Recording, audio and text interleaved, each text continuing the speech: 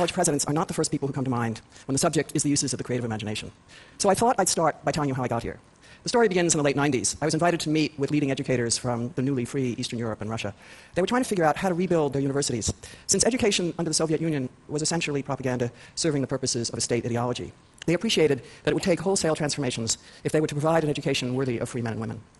Given this rare opportunity to start fresh, they chose liberal arts as the most compelling model because of its historic commitment to furthering a student's broadest intellectual and deepest ethical potential.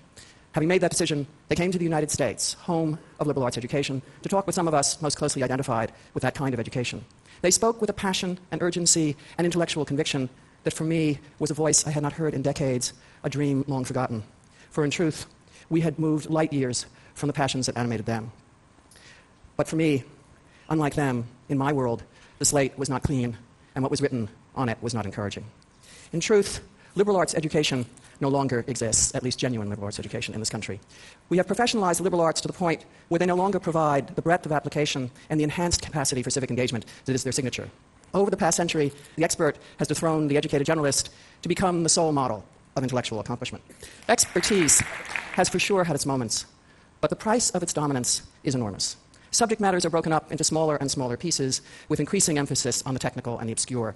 We have even managed to make the study of literature arcane. You may think you know what is going on in that Jane Austen novel, that is, until your first encounter with postmodern deconstructionism. The progression of today's college student is to jettison every interest except one, and within that one, to continually narrow the focus, learning more and more about less and less. This, despite the evidence all around us of the interconnectedness of things. Lest you think I exaggerate, here are the beginnings of the ABCs of anthropology. As one moves up the ladder, values other than technical competence are viewed with increasing suspicion. Questions such as what kind of a world are we making? What kind of a world should we be making? What kind of a world can we be making? are treated with more and more skepticism and move off the table. In so doing, the guardians of secular democracy, in effect, yield the connection between education and values to fundamentalists, who you can be sure have no compunctions about using education to further their values, the absolutes of a theocracy. Meanwhile, the values and voices of democracy are silent. Either we have lost touch with those values or know better, believe they need not or cannot be taught. This aversion to social values may seem at odds with the explosion of community service programs, but despite the attention paid to these efforts, they remain emphatically extracurricular. In effect, civic mindedness is treated as outside the realm of what purports to be serious thinking and adult purposes. Simply put, when the impulse is to change the world, the academy is more likely to engender a learned helplessness than to create a sense of empowerment. This brew, oversimplification of civic engagement, idealization of the expert, fragmentation of knowledge, emphasis on technical mastery, neutrality as a condition of academic integrity is toxic when it comes to pursuing the vital connections between education and the public good, between intellectual integrity and human freedom, which were at the heart of the challenge posed to and by my European colleagues. When the astronomical distance between the realities of the academy and the visionary intensity of this challenge were more than enough, I can assure you, to give one pause, what was happening outside higher education made backing off unthinkable. Whether it was threats to the environment, inequities in the distribution of wealth, lack of a sane policy or a sustainable policy with respect to the continuing uses of energy, we were in desperate straits. And that was only the beginning. The corrupting of our political life had become a living nightmare. Nothing was exempt. Separation of powers, civil liberties, the rule of law, the relationship of church and state, accompanied by a squandering of the nation's material wealth that defied credulity. A harrowing predilection for the uses of force had become commonplace, with an equal distaste for the alternative forms of influence. At the same time, all of our firepower was impotent when it came to halting or even stemming the slaughter in Rwanda, Darfur, Myanmar. Our public education, once a model for the world, has become most noteworthy for its failures. Mastery of basic skills and a bare minimum of cultural literacy eludes vast numbers of our students. Despite having a research establishment that is the envy of the world, more than half of the American public don't believe in evolution and don't press your luck about how much those who do believe in it actually understand it. Incredibly, this nation, with all its material, intellectual, and spiritual resources, seems utterly helpless to reverse the free fall in any of these areas. Equally startling, from my point of view, is the fact that no one was drawing any connections between what is happening to the body politic and what is happening in our leading educational institutions. We may be at the top of the list when it comes to influencing access to personal wealth. We aren't even on the list when it comes to our responsibility for the health of this democracy. We are playing with fire. You can be sure Jefferson knew what he was talking about when he said, If a nation expects to be ignorant and free in a state of civilization, it expects what never was and never will be. On a more personal note, this betrayal of our principles, our decency, our hope, made it impossible for me to avoid the question what will I say years from now when people ask, Where were you? As president of a leading liberal arts college, famous for its innovative history, there were no excuses. So the conversation began at Bennington, knowing that if we were to regain the integrity of liberal education, it would take radical rethinking of basic assumptions, beginning with our priorities. Enhancing the public good becomes a primary objective. The accomplishment of civic virtue is tied to the uses of intellect and imagination at their most challenging. Our ways of approaching agency and authority turn inside out to reflect the reality that no one has the answers to the challenges facing citizens in this century, and everyone has the responsibility for trying and participating in finding them. Bennington would continue to teach the arts and sciences as areas of immersion that acknowledge differences in personal and professional objectives, but the balance is redressed. Our shared purposes assume an equal, if not greater, importance. When the design emerged, it was surprisingly simple and straightforward. The idea is to make the political, social challenges themselves, from health and education to the uses of force, the organizers of the curriculum. They would assume the commanding role of traditional disciplines, but structures designed to connect rather than divide, mutually dependent circles rather than isolating triangles. And the point is not to treat these topics as topics of study, but as frameworks of action. The challenge? To figure out what it will take to actually do something that makes a significant and sustainable difference. Contrary to widely held assumptions, an emphasis on action provides a special urgency to thinking.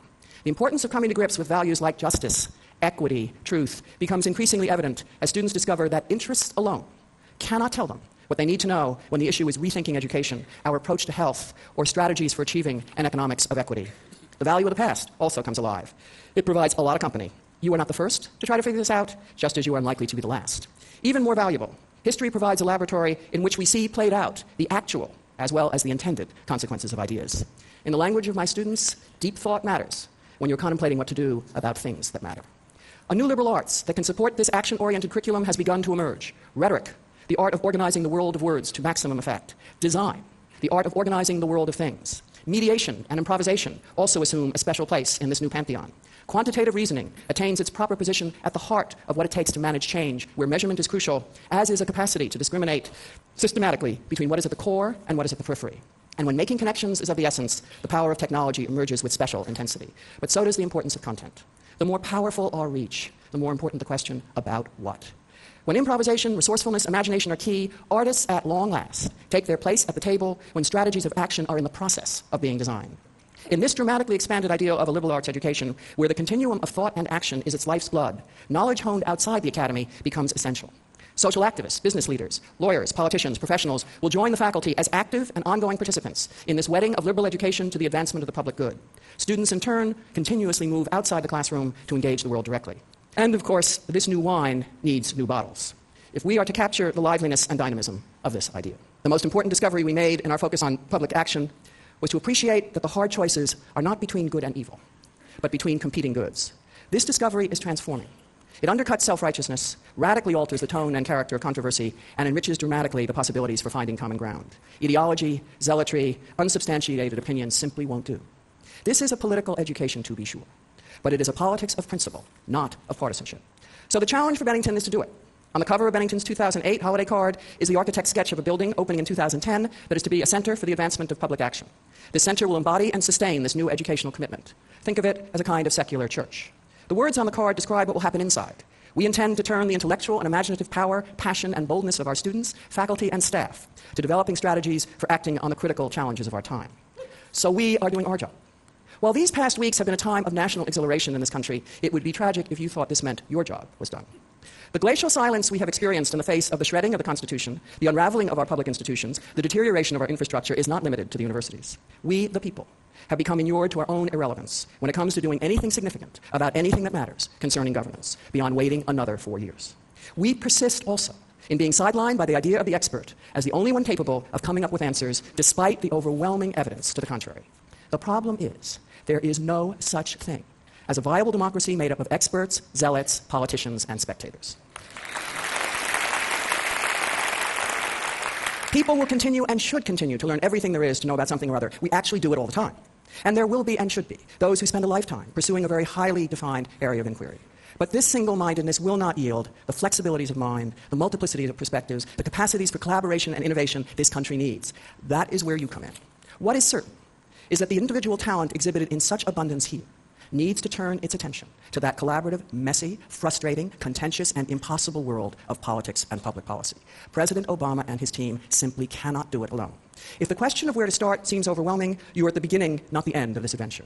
Being overwhelmed is the first step if you are serious about trying to get at things that really matter on a scale that makes a difference. So, what do you do when you feel overwhelmed? Well, you have two things you have a mind and you have other people. Start with those and change the world.